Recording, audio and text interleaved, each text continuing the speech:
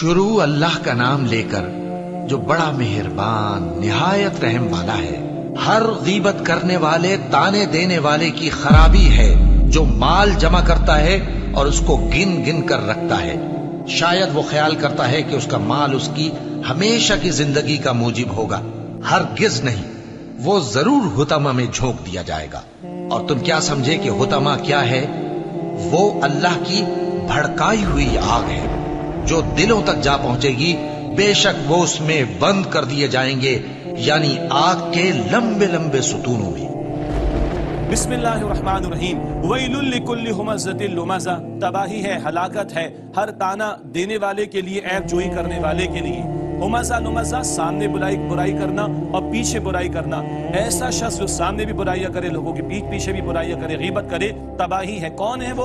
अल्लाह जमा माल वादा जिसने माल जमा किया और उसे गिन गिन कर रखा। माल का पुत बनाकर उसकी पूजा पाठ में लगा हुआ है।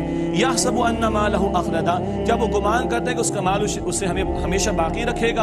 अपनी शोहरत चाहता है, नमूद चाहता है, क्या समझते माल बाकी रखेगा? हरगिज नहीं। कल्ला लयुम बदन्ना फिल खुतामा हरगिज नहीं, वो खुतामा में डाला जाएगा। ये जो माल की मोहब्बत में डूबा और अल्लाह के अहकाम को पसेबुश डाला, अखलाकी गिरावट पर आ गया। लोगों के साथ जो है वो बदकलामी करता है, लोगों की गीबत करता है और माल को सब कुछ समझता है। ये खुतामा में डाला जाएगा। वमा दरा का मल खुतामा और तुम क्या समझे खुतामा क्या है? नारुल्लादा अल्लाह की भड़काई हुई आग है।